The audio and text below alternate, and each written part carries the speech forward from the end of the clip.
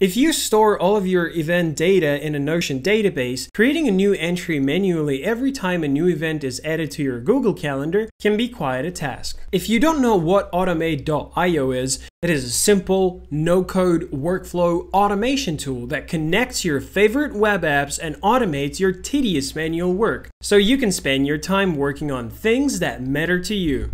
To begin, visit this page, click on this use case box, and then the Get Started button. You will see the Add Account screen. Here, you will connect your Notion and Google Calendar accounts to Automate.io. Now, let's enter our account credentials. Automate.io never takes chances with your data. We always keep it secure with bank-level encryption. Alright, our apps are connected. Let's build our automation, also called a bot. First, let's talk about Google Calendar. It is our trigger app which starts our bot. This bot triggers every time there is a new event added in Google Calendar. By the way, you can change this trigger to event start or modified depending on your use case.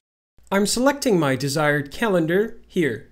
And let's move to Notion. It's the action app that performs our desired action. Here, we want to add the details of our Google Calendar event to a specific page in Notion. Select your Notion page from the drop-down list like this, you can also specify the type of content block you want to add to your Notion page. I'm keeping it as text. Now let's map our event details by dragging and dropping these fields from Google Calendar to Notion, like this.